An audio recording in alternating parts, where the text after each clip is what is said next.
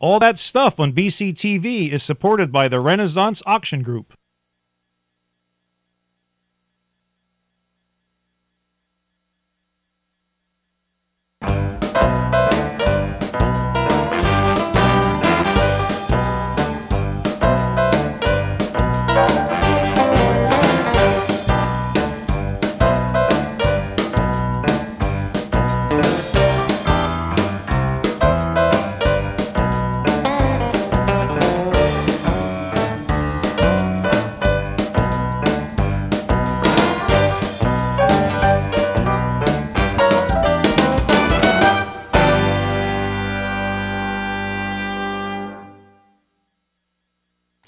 Friends, and welcome to the September 2018 episode of All That Stuff. Our show tonight is entitled, let's run to the slide here. All auctioneers are not created equal. Back to me. You know, I've used this phrase many times and you know maybe you understand or don't understand exactly what I mean by all auctioneers are not created equal, but tonight we're going to talk a little bit about one aspect of why all auctioneers aren't created equal. And that aspect is known as, back to me. yes, I am your producer and host, Bill Howze and I'm also the producer and host of uh, Auction Action on BCT TV. And actually, I'm most excited in the month of October about being the lead auctioneer for Oktoberfest, and we're going to talk about that a little bit later too. But you know, going back to all auctioneers aren't created equal, I've used that phrase many times on this show. And I've explained it to you a time or two. I probably explained to you more than a time or two. And I've explained it to you in different ways. But tonight, we're going to talk about why all auctioneers aren't created equal in relation to the concept of due diligence. Now we're going back to the slide. What is due diligence? You know, you've probably heard that term many times. You may have heard it from your lawyer. You may have heard it from your accountant. You may have heard it in any number of business transactions. Due diligence. I'm going to give you two different definitions. Remember, there's legal definition, there's business definition, uh, there's the general definition, but I think these two cover it. Due diligence is reasonable steps taken by a person in order to satisfy a legal requirement, especially in buying and selling. Remember that, especially in buying and selling. What is it that auctioneers are engaged in? Well, we're engaged in selling for the most part.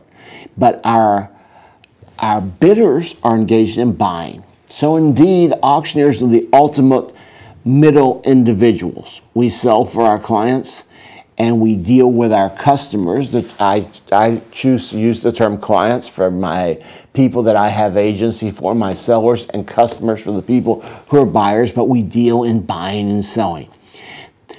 The, a second definition of due diligence is the care a reasonable person should take before entering into an agreement or a financial transaction with another party. Okay, let's go back to me for a second. I'm going to tell you a story. Many of you know, if you've been watching my show for a long time, that I'm from the South. The South has no monopoly on storytelling, but we definitely love to tell stories. So, first, we're going to start with a story. A lady called me back in July. She said, um, Well, I'm going to save that part of it. Basically, she had a lot of artwork. She wanted to bring me some of that artwork to look at. I said, Come on down, let's take a look at it. She bought me some artwork. I looked at it. Some of it was particularly good. I said, okay, well, here's what I can do, blah, blah, blah. You know, she said, well, you have some references? I said, sure, I'll, I'll, give you some references. We talked for about an hour and a half, her and her daughter. And, uh, you know, I went on back home. About 30 minutes later, I get a call and she said, you know, skip those references. I'm just going to bring you all my artwork. Can you take it all today? I said, sure. If it's that important to you, bring it on down today. So she bought me three van loads worth of artwork. Some of it was very good some of it was $5 artwork. So I was a bit taken aback. well, you know, how was it that you ended up with all this good artwork and all this extremely common artwork? And what about some of the condition issues? So we talked a little bit, and I actually became quite, um, we developed a relationship. I like to develop a relationship with my clients. I like my clients to know that I'm working for them. As an auctioneer, we are an agent for the seller. We are not an agent for the buyer. We are only an agent for the seller. But we have to maintain good relationships with our buyers, obviously. Our buyers have to feel like they're being treated honestly, they're being treated fairly, they're getting good descriptions, uh, there's transparency. So we're, we are, in some ways, the ultimate middle person. But I became, you know, uh, it's not unusual for me. People that are my clients know that, you know, that to me, there's something more about being an auctioneer than just buying and selling. I had an auctioneer contact me this Monday. He was in a kind of an emergency situation. He said, Bill, can you catalog this furniture for me? I said, sure. So, didn't even know the individual. Never met him before. He had sent me a, a, personal message on Facebook. And uh, as we got to talking more and more, he said, You know, this is one of the saddest situations I've ever encountered in my auctioneering career. He never told me what that situation was, but I realized that he understood and had an empathy for his client that went deeper than just, hey, what do you got to sell? Here it is, blah, blah, blah. I mean, I'll send you a check. You know, well, so we talked a little bit more and we exchanged some philosophy of auctioneering, you might say, you know, and I realized that he too understood, like I do, that there's more to being an auctioneer than just what do you have to sell okay, I can describe it, okay, I can market it, I can sell it. So I developed a personal relationship, meaning just a, a personal affinity for my client. A very unique and interesting woman. So then she said, Well, Bill, I want you to come out to, I want you to come out to where I live now, and I want you to go through some of my stuff that's not art. I said, Okay, I'll do that. So I went out there one day, and uh, it was August, and it was hot, and you know we had it scheduled for the week before, and it was going to be at you know 105, you know, heat index. And she called me and said, "I don't want to be out in that barn at 105." I said, "That's fine." So we went out the next week. I went out the next week, uh, out toward the Fleetwood area, and uh, we went up in the barn and we started going through some of her stuff. That was not artwork had some interesting items, had some items that weren't worth much at all, once again. So we finished that, took about an hour and a half, two hours. We went back, we sat down in the lawn chairs. Pretty, pretty property out there uh, in the Fleetwood area, uh, you know, uh, late 18th century, early 19th century stone house.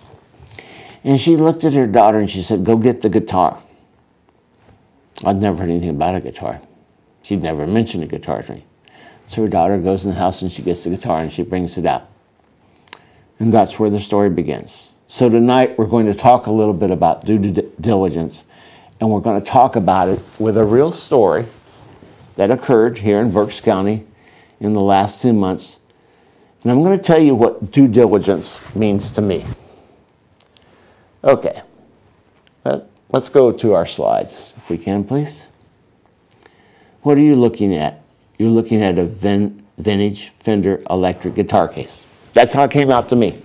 I'm sitting there, it's hot, the sun's coming out. I'm sitting in this lawn chair and I see this case come out. Okay, this is looking good. And I know it's a Fender case, it says so right on the top right. And I think, okay, that's fine. Open it up. There's some early Fender accessories in there. There's like a four or five foot Fender uh, electric guitar cord. There's a, a, a, an early Fender polishing cloth and three Fender picks. So I say to my client, as I always do, and by the way, you will know, we can flip back to me now if you want. Uh, we, you know, you'll know, if you look, if you listen to Antiques Roadshow, what they say to you is sometimes, well, what do you know about it? Well, you know, you think they're just really being conversation, but no, they're doing a CYA. They're, they don't want to get too far off base. So my client tells me the following story. She says, in the late 80s, I went to an estate sale. And there was a guy sitting there. And he said to me, I've owned this guitar since the early 60s. She ended up purchasing the guitar from him. She purchased the guitar in her mind, hoping that it was an early Fender. And I'm going to show you in a minute what type of Fender it was. But she didn't know for sure because she didn't know anything about guitars.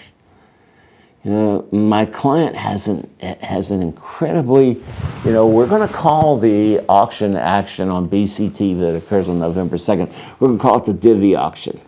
If you've ever watched Lovejoy, you might know what a divvy is. A divvy is a person that just has a sense sometimes that something's worth something, even if they don't know exactly what it is. Well, I thought about it for a long time, and after dealing with my client for a couple of months, she's a bit of a divvy. You know, she's not a dizzy, she's a divvy. She just kind of has a way of recognizing things sometimes. So the guy says to her, You know, I bought this guitar in the early 60s. I never played the guitar. It sat in the case the whole time I've had it. I just want rid of it. So they agreed on a price and she purchased it. That was in the late 80s. I said, Well, what did you do with the guitar since then? She said, I just left it in the case. And I kept carrying it around. You know, when I moved, I'd carry the guitar around and the guitar went with me. And this is like my prized possession. And I'm hoping that maybe it may help me in this situation that I'm in, where she was moving from southeast Pennsylvania to Louisiana. She was buying a house. She's not a wealthy person by any means. And she was really hoping that this guitar would be something special. And I said, okay, let's take a look at it. Let's do it, you know. I looked at the guitar briefly, you know, am I a guitar expert? No, I'm not. But I've been in the auction business for 38 years now. I've sold a lot of things, including some expensive guitars. So I looked at the guitar and I said, okay, let's put it, let's put it in the auction. I take it home. 10 o'clock next morning, she calls me. Oh, I'm not sure about that guitar. I'm really kind of worried about that guitar. And I said, I was actually expecting a call from you today. She said, why were you expecting a call me today? I said, because I knew. I just know. I've been doing this. I'm a bit of a divvy too when it comes to, to auctions. And I said, I just kind of knew you would call me first thing this morning with second thoughts. And I said, you know, all I can tell you is here's what we're going to do. Boom, boom, boom, boom, boom. She said, okay, well, I'll tell you what.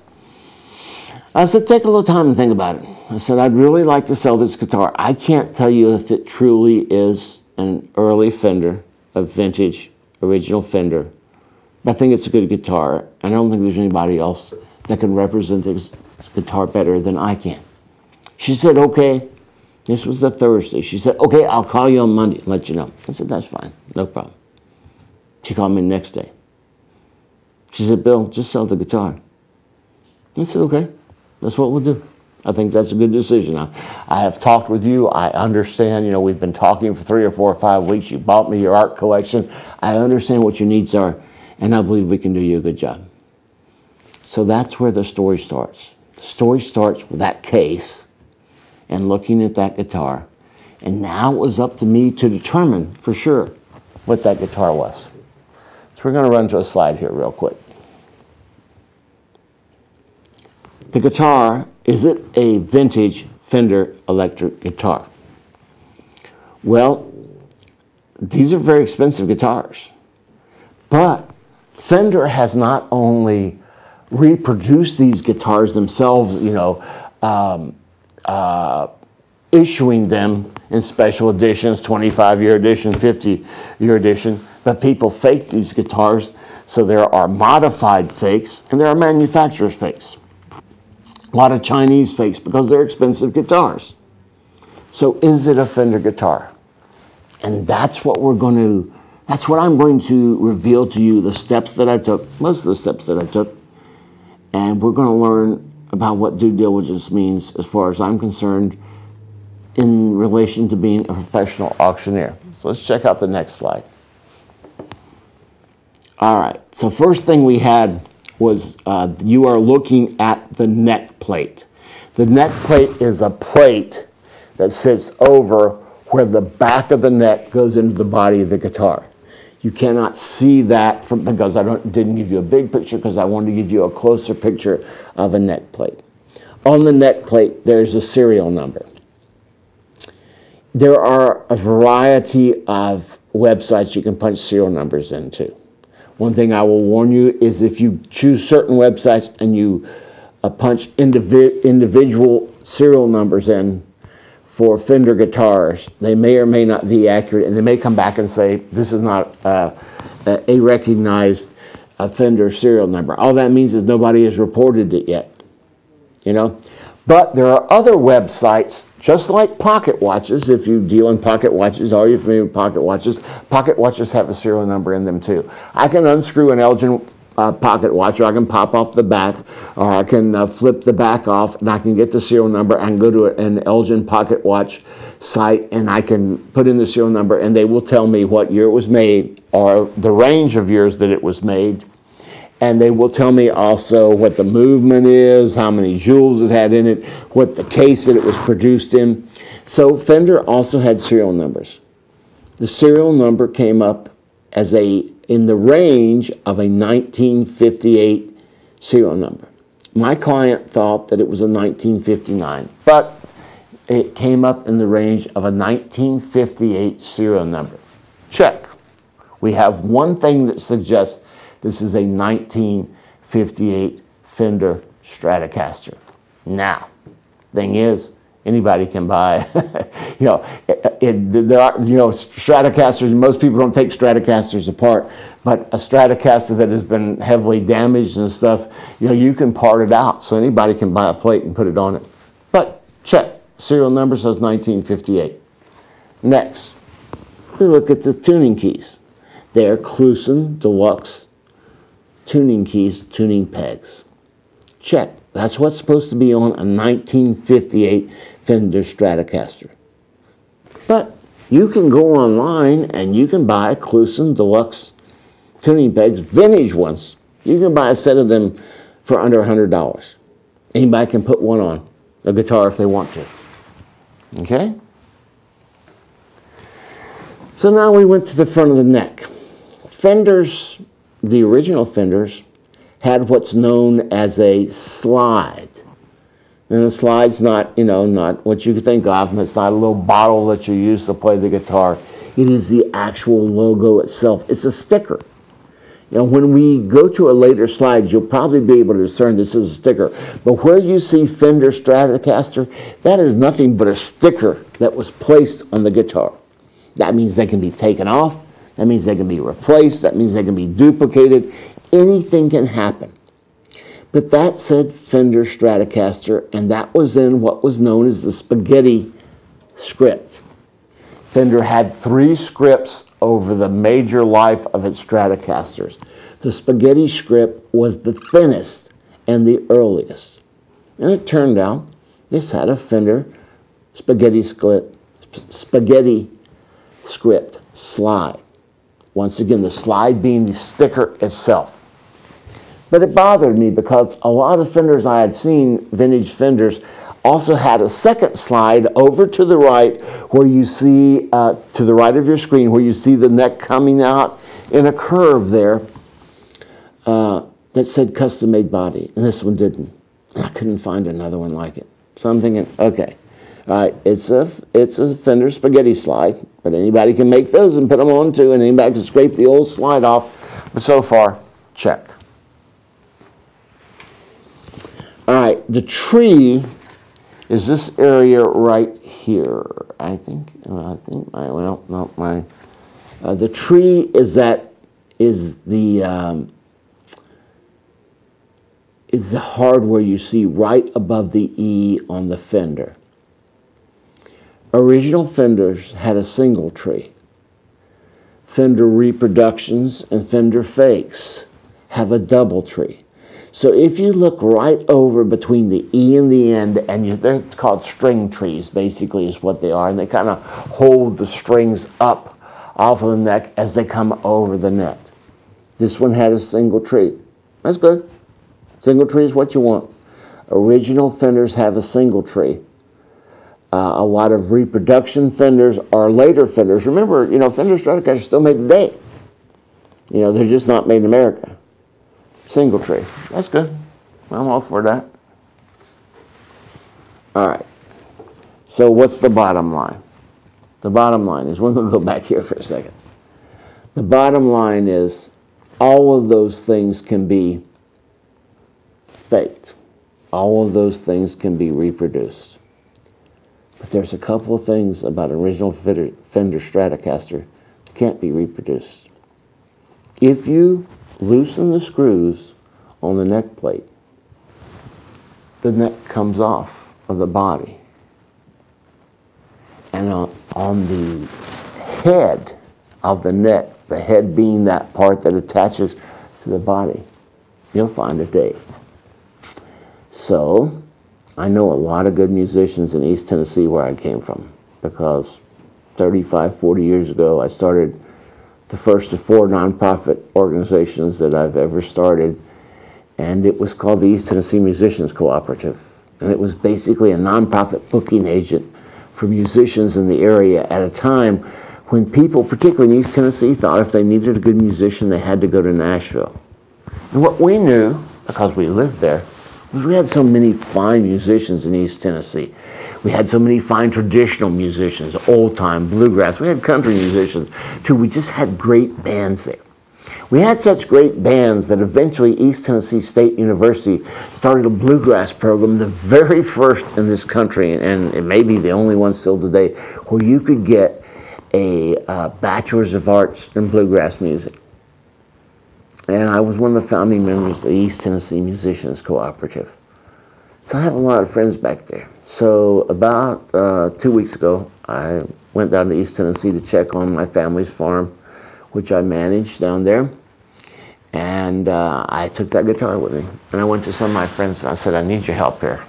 You know, I have to make sure everything is telling me, except maybe one or two things is telling me that this is actually a 1958 Fender Stratocaster guitar but I need your help and I don't feel confident in disassembling a guitar.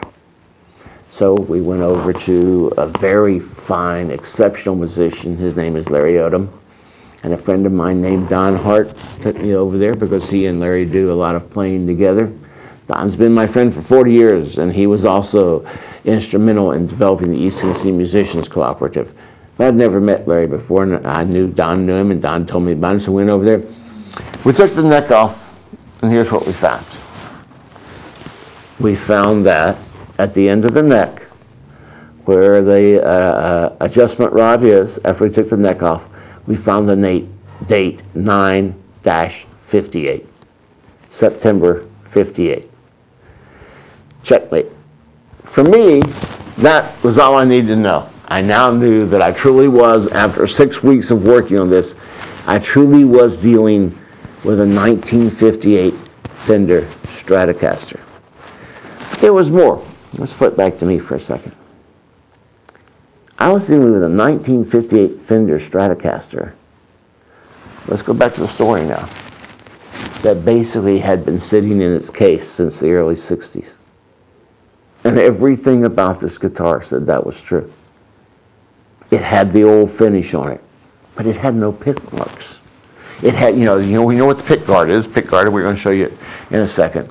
But, you know, it, it, there was no place that indicated it had been played. And now the story that my client told me, which was only, you know, uh, an oral anecdote, made sense. She'd had it since the late 80s, and she'd kept it in the case. And the guy that she bought it from said he had it since the early 60s and he kept it in the case. Wow. Now everything's starting to add up here. That's why this 1958 Fender Stratocaster is so pristine. I've told people I think it's in the 95 to 98% category of all the Fender Stratocasters out there because it's never been played. It's been sitting in the case since the early 1960s. What was the early 1960s? She didn't know because he didn't tell her exactly what year he bought it. Let's say it was 64, six years after it was made. This guitar has been sitting in this case for many, for the vast, vast majority of its life. It's been sitting in the case so long that everything in the case, oh, there goes, Joan. We knew it was going to happen, didn't we? I didn't even move.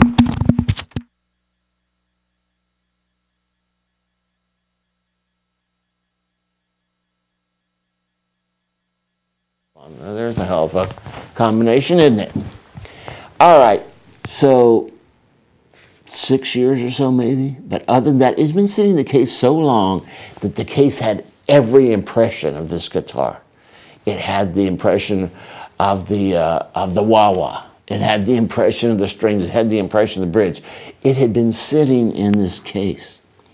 So now things take on an entirely different tone. We not only have a 58 Stratocaster, we have a 58 Stratocaster that's almost in mint condition.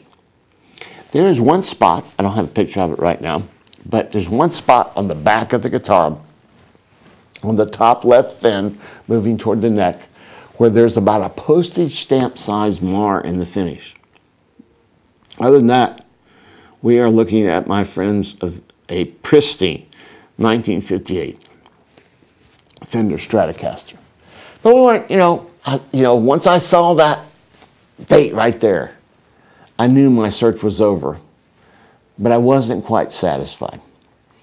So my friend Don and I took the guitar and we reassembled it. It's not a, it's not a difficult task really, and we took it back to his house. And uh, I did some more business there, and then I went up to visit with him and his lovely, beautiful, intelligent, and uh, erudite wife Sherry. And we took a couple days, and one morning I said, Don, let's take let's take the uh, pick guard off. And so we did. So we took the pick guard off because we wanted to examine the condition of the, of the pickups and stuff. And Don said, you know, Bill, I have a Fender Mustang. And uh, there was a date underneath the middle pickup. There's three pickups. So we took the pick guard off. We examined the pickups. We lifted up the middle pickup and there we found the date written in pencil 1058. Double checkmate. He said, Well, hold it, Bill. The first date was 9, 958. Yeah, it was September 58. That's when the body was assembled. October 58. First, you assemble the body, then you put the electronics in. All we needed to know. Now we know, now we have every proof we need to know that we truly are dealing with a 1958 Fender Stratocaster in pretty much pristine mint condition. Let's flip back to me. So it took me six weeks, but there's an example of due diligence. You see, I know auctions. I know how to describe, I know how to market, I know how to put it on an auction, but I don't claim to be a guitar expert. So in order for me to put, in order for me to put this guitar out there as a near mint 1958 Fender Stratocaster, I needed to have confidence myself. Because remember, my first obligation and my only contractual obligation is to represent my seller but I also have to instill confidence in my buyers. So, after six weeks' time, about nine days ago, I realized that in the auction action on BCTV on November 2nd, we will be offering to you and to the nation and to the world a 1958 near mint Fender Stratocaster guitar. I'm excited, and I hope you will be, and I hope you'll watch it, and I hope you tune in, because it's going to be a great guitar. It's going to be a great auction. So now let's flip to the slide a little bit. So let's go back to what due diligence means. First of all, due diligence is the mark of a professional. It doesn't matter if you're a professional lawyer, a professional accountant, a professional auctioneer. It really doesn't matter if you're a professional plumber, if you're a professional electrician, you always do your due diligence. Now, let's, let's put this into common terms. What does due diligence really mean? It means doing your homework, kids. That's what it means. Know what you're talking about. If you put yourself out as a professional, whatever profession that might be, then take the time to make sure that you deliver to your client, whoever that client might be, for whatever service that they have hired you, make sure that you deliver to them due diligence. Why? Well, first of all, it protects the client's interest. Doesn't matter. Plumber, electrician, lawyer, Indian chief, auctioneer. Your job is to make sure and protect your client's interests. Also, due diligence imparts enhanced value to items. They say, well, you know, a plumber, what's an item that a plumber has? Well, a plumber is there to do your plumbing. You know, if they do your plumbing correctly the first time and they do it well, then they've enhanced the value of their service. In the case of auctioneers, when we do our due diligence and we do it well, we have enhanced the value of the items you have entrusted to us to sell. It also minimizes the potential for fake items to be assumed as genuine. Now we're going back to simply the auctioneer. But let's go back to the plumber.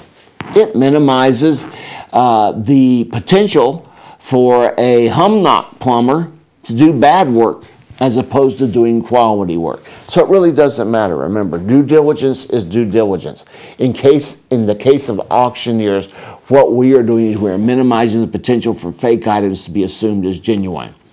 It also instills confidence in the buyer. My company is known for selling quality items all across the country and all across the world. Are we known as the number one seller of vintage instruments? No, we're not. I'll be quite frank. But now I know I have the evidence and I have the information that any buyer that wants to bid on this guitar can have confidence in what they're bidding on. And that's important. And that's why I spent six weeks satisfying myself. Because if I can't satisfy myself in regard to certain knowledge, then how am I going to satisfy anyone else? Let's flip back to that side for a second. Can we flip back to that slide? Thank you. Okay, it not only instills confidence in the buyer, but it protects the buyer's interests. You know, my job, once again, as an auctioneer, is to represent the seller. I have no uh, legal or fiduciary responsibility to the buyer, but I do have a responsibility to make sure that the buyer is buying what I say they're buying. So I'm also protecting the buyer's interest and I'm adding integrity to the process.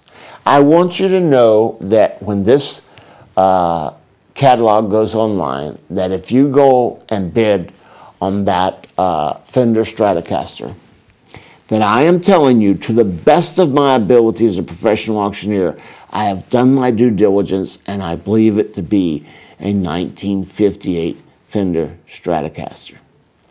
Now, the last one says, makes a difference a client can take to the bank.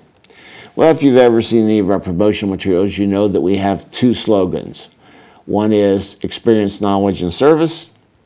The other is we make a difference you can take to the bank. So that's a little play on our, uh, on our uh, promotional and marketing sloganeering for the Renaissance Auction Group. But I believe due diligence makes a difference. That a client, remember, a client is my seller, a customer is my bidder in my terminology that a client can take to the bank because now my client, if I had simply taken that uh, Fender Stratocaster, let's, let's flip back to me if we can. If I had simply taken that Fender Stratocaster and I had said, I'm Bill Howze, I'm a professional auctioneer, I've been doing this for 38 years, I'm not an expert on guitars, but I think this is a 58 Fender. If I hadn't taken off the neck, if I hadn't taken off the pick guard, if I hadn't done all of the other due diligence to pinpoint the various points that I uh, just uh, elucidated to you, the tuning pegs, the string tree, uh, you know, the, you know, the, the uh, spaghetti slide, the, the spaghetti script on the slide. If I hadn't done all of those things, you might say, well, Bill, why should I believe you? Hey, I'm not asking you to believe me. I'm just showing you the evidence. Now you make up your own mind, but I think we've shown you the evidence. So that's what due diligence is all about, quite frankly. Due diligence, you know, once again, it's called doing your homework. as far as I'm concerned, you can make it even more direct. You can call it just doing your job. Doing your job as a professional. Doing it, doing it well, taking it seriously, realizing that you're obligated to represent your client and represent their items to the greatest degree you can. So, that's my speech for tonight about due diligence. That's my speech for tonight about uh, what it takes to be a professional auctioneer. And that's my speech for tonight about why all auctioneers aren't created equal. Now, by that, do I mean I'm the best auctioneer in the world? No, don't mean that at all. There's a ton of auctioneers out there doing their due diligence. And there's a, an exceptional number of fine auctioneers. And not only that, every auctioneer works hard. It's a tough business, folks. You know, a lot of y'all think we just stand up there and call bids fast. Oh, 10, 10, 15, 20, 25, 35, 35, bid 40, 45, bid 50, 55, bid 60. No, that's not the way it is, you know. So all auctioneers are earning their money, except the bottom, those that reside at the bottom of the barrel. But all auctioneers aren't created equal. And if you have items of value, then you want to be dealing with an auctioneer that does their due diligence. And you know, I've mentioned here many times before, what are the things that sell best at auction? The most exceptional things. And yet that's counterintuitive to the general public's, uh, and we're changing it, but the general public's impression of auction is, I thought everything sold cheap at auction, Bill. I've told you before what my stock answer is. Well, if everything sells cheap at auction, how come all the best paintings and all the best jewelry and all the best cars and all the best livestock and all the best antiques and collectibles and a fair portion of the best real estate in the world is sold at auction? Well, let's think about that for a second, and here's the reason why. Auctions are driven by competitive bidding. If you bring me an item that anybody can go to Leesport on a Wednesday and buy for $10, where's the, where is the urge to bid competitively? There is none. Why should I buy it from Bill? You know, I can go down and get it any day for ten dollars, and if the person's desperate, I might get it for five, or they might just damn give it to me because they say, you know, you've been a good customer. What the heck? Why don't you just take this? No, it's the good items it's the good items that excel at auction. And it's the best of the best that should always be taken to auction. There's only one place to sell this uh, Fender 1958 Fender Stratocaster, and that's at auction. And why is that? Because it is in pristine condition. You don't find them that way very often. And we're going to put it to the buying public. We're going to say, this is a 1958 Fender Stratocaster in near mint condition and you tell us what it's worth. Because you can go online. You can see that there's one for 12,000, there's one for 12,005, there's one for 15, there's one for 22, there's one for 22.5. Did they ever sell? We don't know. You know, unless there's a price realized there. What did they sell for if they were asking 22.5? We don't know. You know, but what we know is that we have a 58 Fender Stratocaster in pristine condition. So that our object, our Fender Stratocaster, can measure itself against almost all the other 1950 Fender Stratocasters out there. Now what's its worth? That's why you take the best stuff to auction, folks. And that's the way it works. And if you have common stuff and you take it to auction, you're going to get common results. And if you have decent stuff, you're going to get decent results. And if you have pretty good stuff, you're going to get pretty good res results. But if you have exceptional stuff and you take it to an auctioneer that does their due diligence, you're going to get exceptional results. So, that's my story for tonight. I'm sticking to it. Let's talk a little bit more about some of the things near and dear to my heart. Auction action on BCTV. Now, this is where you're going to find that Fender Stratocaster along with a lot of other exceptional items.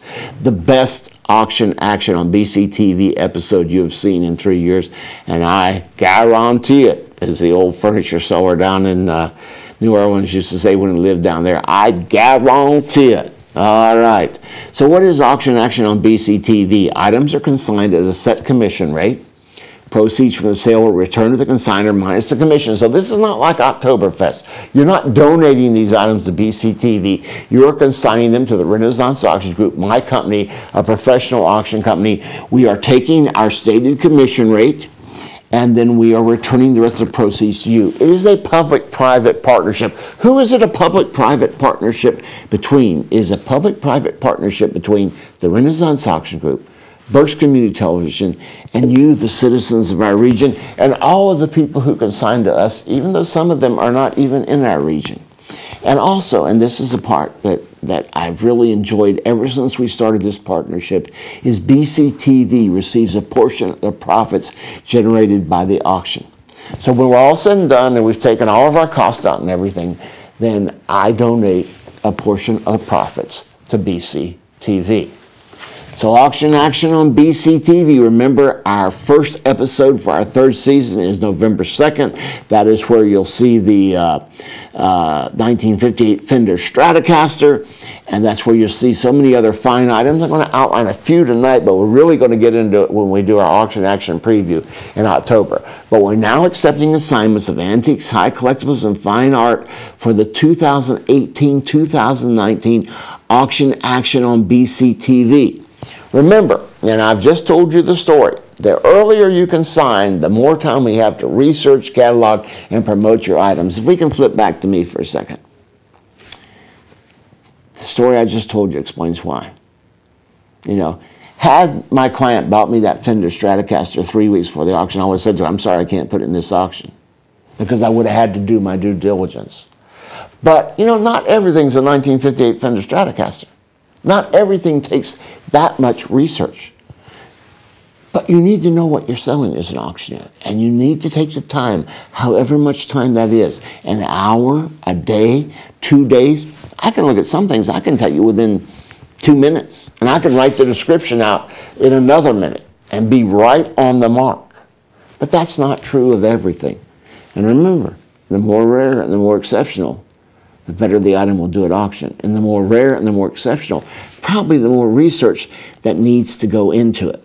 So that's why, let's go back to the slide. That's why we tell you that the earlier you can sign, the more time we have to research, catalog, and promote your items.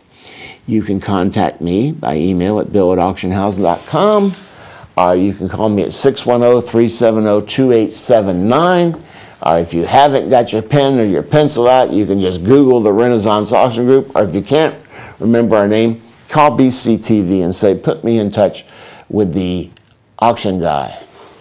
Auction action on BCTV. What type of items is it that we specialize? Well, folks, we sell we sell any and everything as long as it's something unique.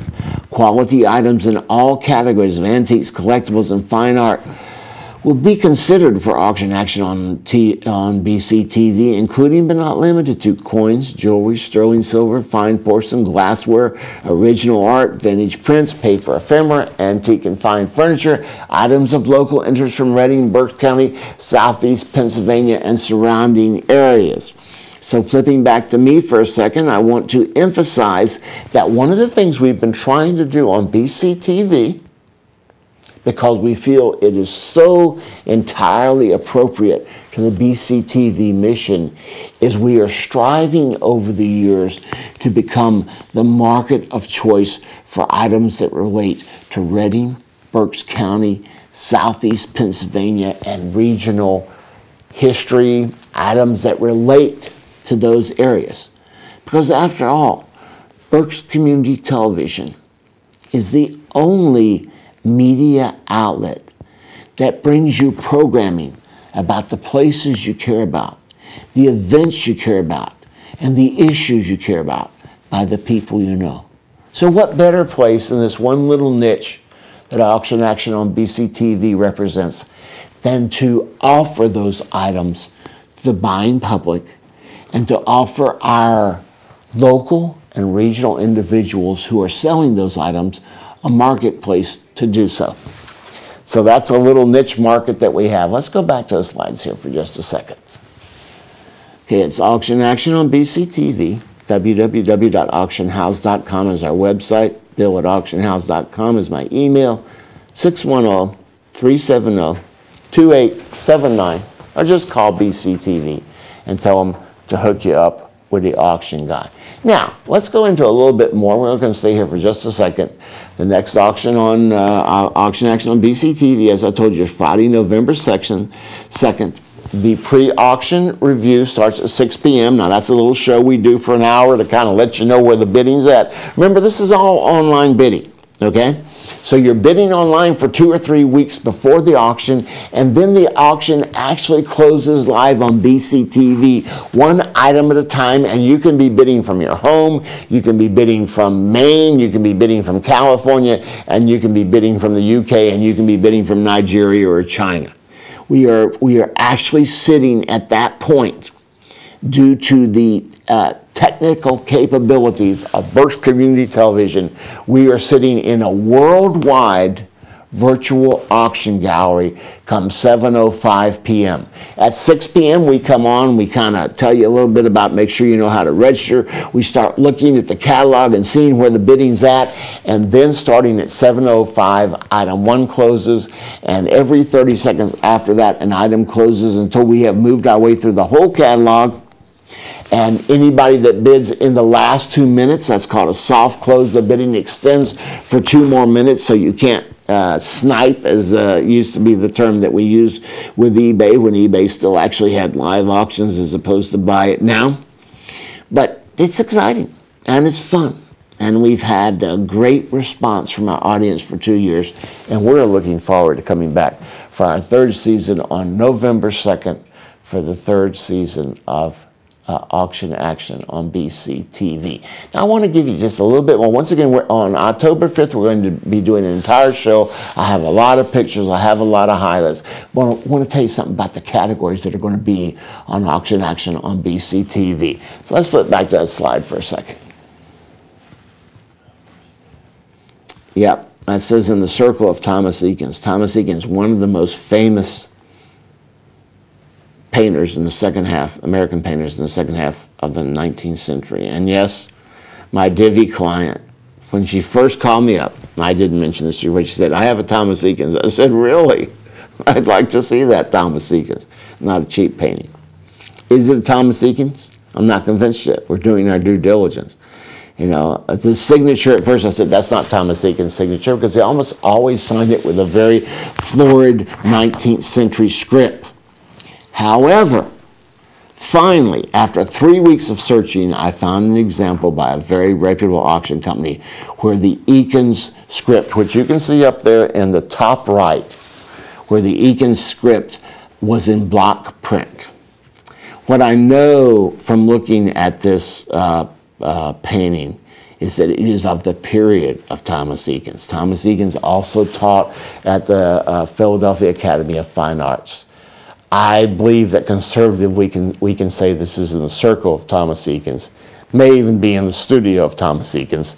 We cannot say with certainty that it is attributed to Thomas Eakins. One of two portraits by Marcus Mote. Marcus Mote was a Quaker itinerant portrait painter in Ohio and Indiana area. Uh, these are signed on the back and dated by Marcus Mote. Okay, auction action on BCTV, some of the art. We have an original pencil drawing by Andrew Wyeth. We have an original pencil drawing by Moses Soyer. We have an original polychrome drawing by Alice Barber Stephens, who was a uh, student of uh, Thomas Eakins. We have uh, two prints by Bernard Maffei, uh, two oil paintings by Edwin Boddington from eight, 19th uh, century England. Uh, we have a William S. Robinson uh, original oil painting. We have two fine uh, prints from the 1930 outstanding uh, uh, artist Stow Wengenroth. We have a Martin Barooshian print, an Alvar Sunol uh, print, signed and numbered, collection of European etchings from circa 1920 to 30s, an original Disney cel that was used in a Disney cartoon production from the late 50s, and a collection of contemporary African American art. Have a lot of U.S. and foreign coins, a ton of coins in this. We have a complete set of peace dollars. We also have uh, U.S. silver coins, including Morgan silver dollars, peace silver dollars, not only the complete set, but others as well. We have uh, American Eagle uh, silver bullion coins. We have Walking Liberty, Franklin, and Kennedy halves, silver halves. And when it comes to coins, we have some a couple of small gold coins. We have the uh, Morgan and Peace dollars, the Am Eagles. We have the silver half dollars. We have silver quarters, silver dimes, U.S. silver proof sets, complete set of Jefferson nickels with all the key and semi-key dates, wheat pennies, foreign coins, ancient coins, uh, including a Judea Capta coin from the first century AD.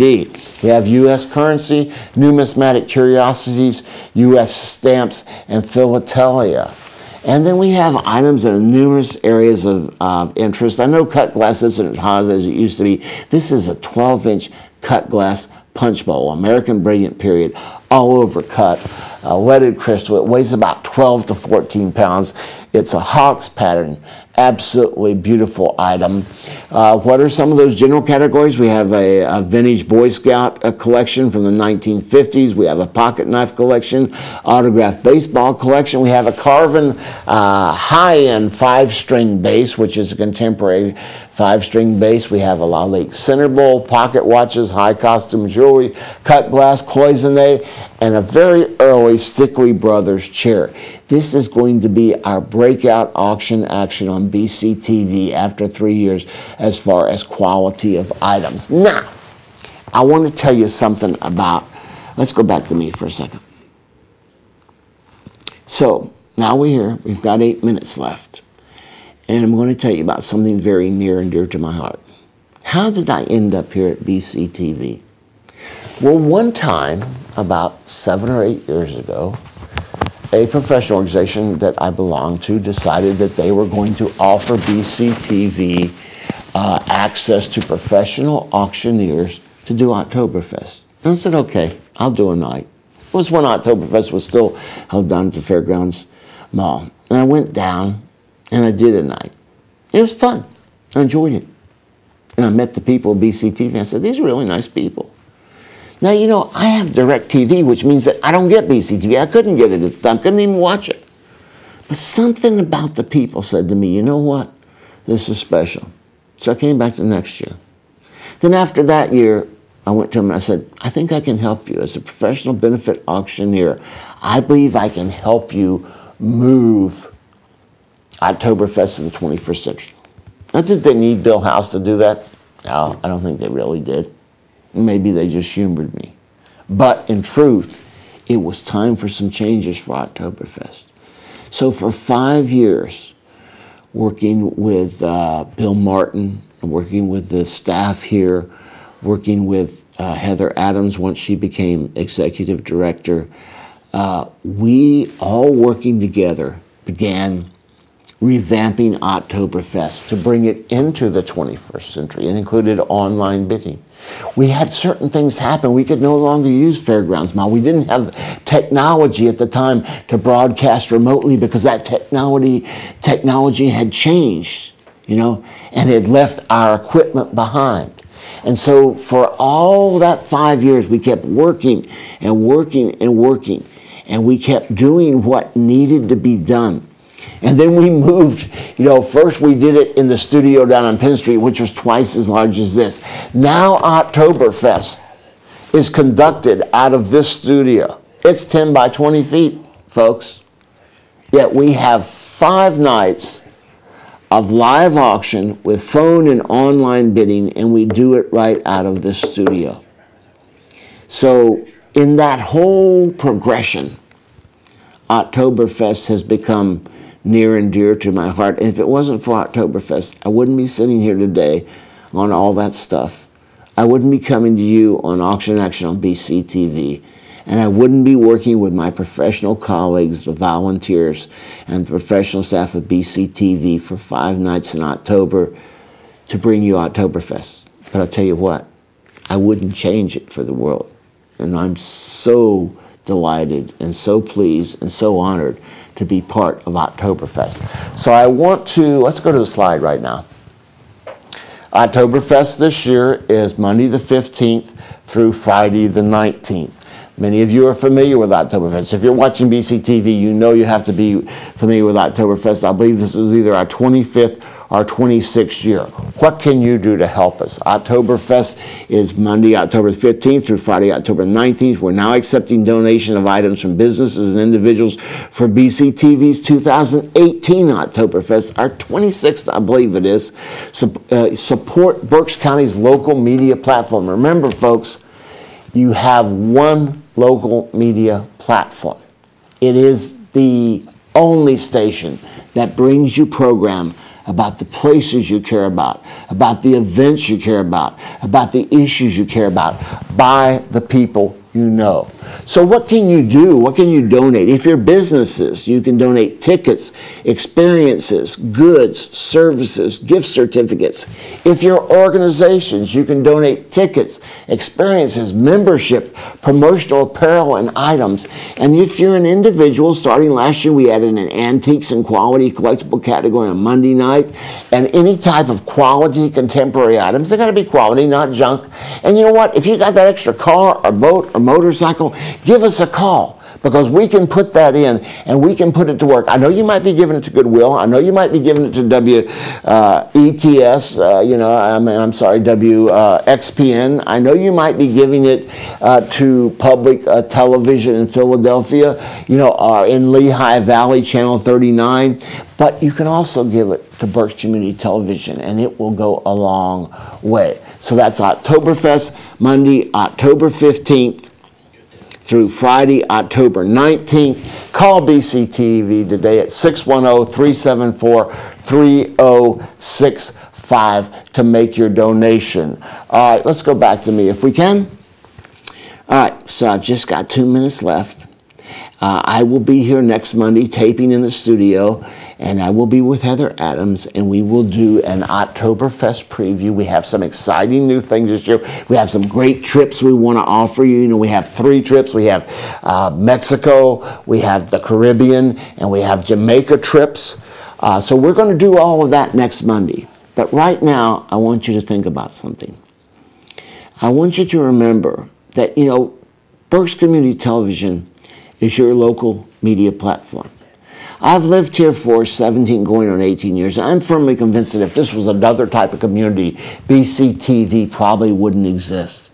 But BCTV exists today because the people in Berks County have such deep roots and they want to support local access media and they want to support a local media platform that brings you the programming about the places you care about the events you care about, and the issues you care about by the people you know.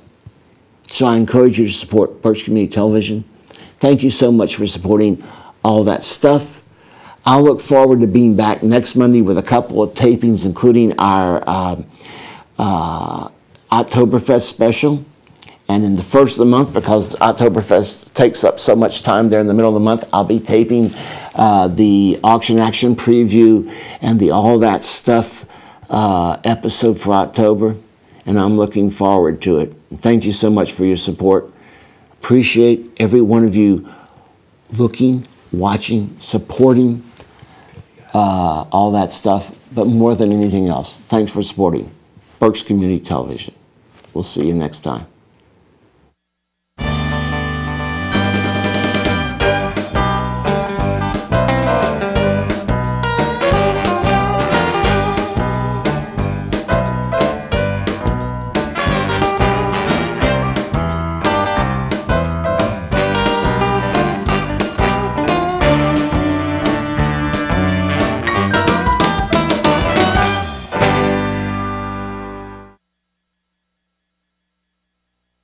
All that stuff on BCTV is supported by the Renaissance Auction Group.